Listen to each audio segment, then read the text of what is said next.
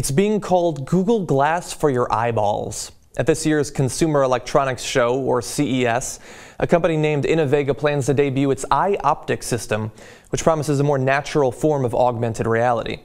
The two-part system works by combining special contact lenses with a pair of glasses that use tiny projectors to transmit data onto the lenses. Now, at first, this seems like a more complicated way of achieving what glass does with half as many parts, but take a look at this concept video from Innovega.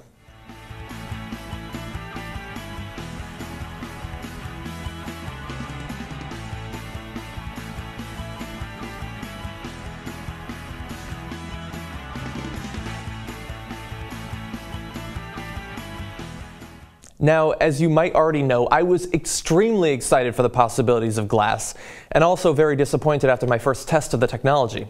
Once burned, twice shy, as they say, so I'll have to actually try out the iOptik before I get all giddy again. But it does look fairly natural, and they promise a wide range of compatible apps, saying whatever runs on your smartphone would run on your eyewear. But after watching their preview video, I do have to admit that the concept of yet another way for social media to invade our daily lives has lost some of its appeal. I don't think I'm alone when I say that it's very easy to check my phone.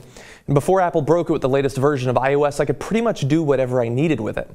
Combined with the popular opposition that glass testers have reported while wearing the technology in public, I have to question whether these two devices are solving a set of problems that don't actually exist for most people.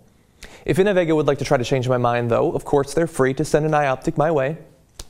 Now, maybe I'm being too harsh on a form of technology that I've had very limited hands-on experience with.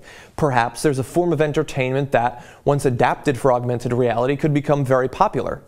Take a look at this bit from the end of the promo video. You know what I'm talking about.